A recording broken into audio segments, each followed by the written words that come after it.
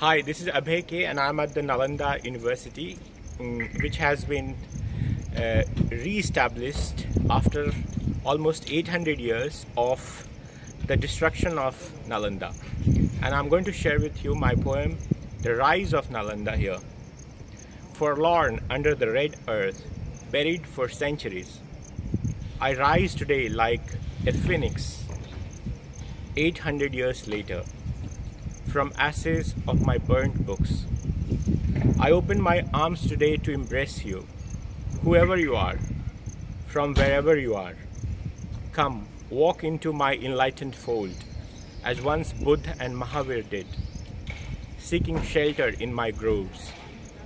I recall Xuanzang and Fahian, the ancient travelers from the east I hear footsteps of Aryabhat and Charak in my ancient compound today. You too come, come as I rise again. Thank you for listening.